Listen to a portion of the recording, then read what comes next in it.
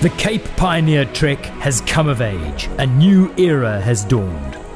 A conscious effort has been made to create a riding environment where tough days are followed by rewarding days, just bettering the overall riding experience. This philosophy has been implemented over the past few years, culminating in the 2016 route. From being labelled the toughest stage race in SA a few years back, it's now about great riding, magic new trails, and a quality experience. The new philosophy is evident in the route distance for 2016, the shortest in its history with only 496 kilometers covered over 7 days, including the prologue, and with 9,620 meters of vertical ascent. The route is diverse in all aspects, from the beach ride at the coast to the unforgiving desert like terrain of the Karoo. 2016 will once again kick off in Mossel Bay with an urban coast hugging prologue, very similar to 2015, and will once again finish in Oudtshoorn.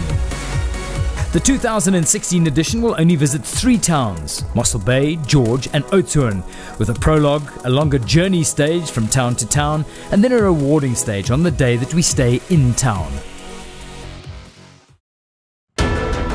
The 2015 prologue and its setting was well received, and nowhere else will you find a start to a race with this sort of scenery and spectator engagement. The route will be similar to 2015 with the start at Milkwood Primary School, followed by a demanding climb up to the lighthouse, and then the single track starts, all along the edge of the drop off towards the sea, making it truly spectacular.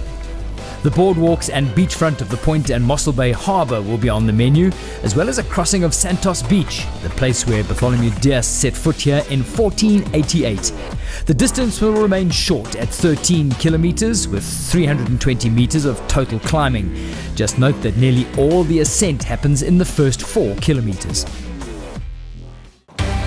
Stage 1 will showcase the Mossel Bay area and exquisite places where we couldn't get to before. The stage will start in neutral fashion until the riders head northwest towards freshly cut single track in the Gondwana Private Nature Reserve. This 11,000 hectare reserve offers a wilderness experience, and the riders will come face to face with the free roaming Big Five of the African continent. Truly a spectacular area with views of the mighty Outeniqua Mountains and the ocean nearby. More new track through adjacent farmlands will bring the riders to a fast and furious descent towards Dias Beach and onto Milkwood School for a well deserved night on the water's edge. Stage 2 will arguably be the toughest stage of the race, with 2,200 metres of climbing over 99 kilometres. A short neutral goodbye ride through the town will see the riders entering Dias Beach for a 7 kilometre beach sandy slog always at the mercy of the tide, but making it spectacular. The race then heads towards the foothills of the Great Outeniqua Mountains, where Jeep and single track will traverse the lower slopes, heading east towards George. Some rewarding single track just after the third water point will see the riders getting a taste of the fun that awaits on stage 3. We finish at Van High School, a Cape Pioneer partner since 2009. Stage 3 is the shorter stage for 2016, but it's all fun. 90% single track riding in lush forests. We often visit George on this race, but never before have we had the chance to properly enjoy the kilometers of beautiful flowing single track. The Garden Routes capital is adjacent to some of the best kept secrets in mountain biking. Tracks so lovingly built and kept by passionate mountain bikers from this area. You'll be blown away by this short but rewarding day in the saddle. A journey which includes Montagu Pass is always worthwhile and combined with new single track sections at Herold Wines makes this a fabulous day. For stage 4 we return to the 2009 Pioneer route between George and Oudtshoorn with its undulating tracks and climbs that have a bite.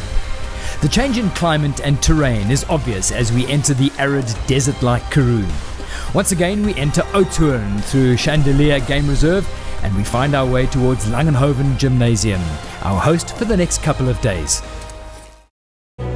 Riders travel eastward towards the Kammanassie Mountains on stage 5, but for the first time in many years, we don't go to the mountains but rather circumnavigate the dam by the same name.